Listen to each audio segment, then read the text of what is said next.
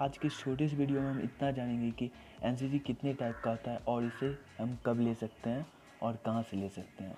तो सबसे पहले ये बता दें, इसका तीन टाइप्स होता है। एक आर्मी विंग होता है, एक नवल विंग और एक एयर विंग यानी तीन टाइप होता है आर्मी नवल और एयर विंग ओके अब अब इसमें जो बॉय और गर्ल दोनों होते हैं तो बॉय को क्या कहा जाता है और गर्ल को क्या कहा जाता है?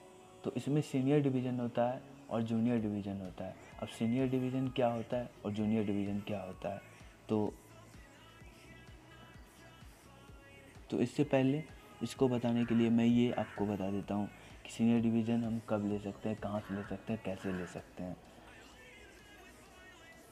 सीनियर डिवीज़न जो है, कॉलेज और यूनिवर्सिटी से ही ले सकते हैं। कहाँ से? कॉलेज और यूनिवर्सिटी से ही। और इसके लिए मैक्सिमम एज हमारा चौबीस साल तक ही हो सकता है। कितना? चौबीस साल तक ही। चौबीस साल से ज़्यादा होने पे हम सीनियर डिवीज़न में नहीं जा सकते हैं। ओके? अब जूनियर डिवीज़न जो होता है, वो सिर्फ़ स्कूल से होता है। कहाँ से होता है? सिर्फ़ स्कूल से, क्लास टेन के अंदर। सिर्फ़ स्कूल से हम जूनियर डिवीज़न कर सकते हैं।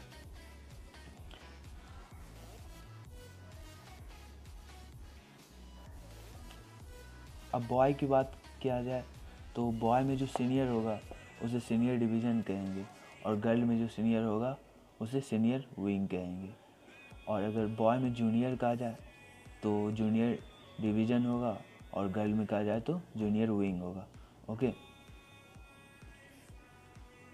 सो मैं आशा करता हूँ कि आपको इस वीडियो में कुछ ऐसी जानकारी मिली होगी, जिसे कि आप जानना चाहते हैं।